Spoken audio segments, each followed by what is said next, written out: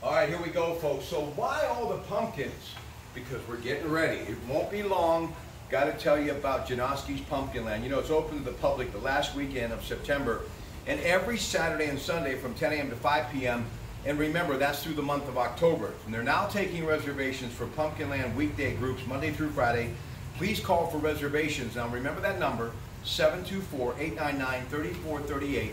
724-899-3438. And as Mr. Sonny Janoski and I used to say, Pumpkin Land for pumpkin pleasing people like you. Janoski's open every day, 8 to 7. Like him on Facebook. Find out more at janoskis.com.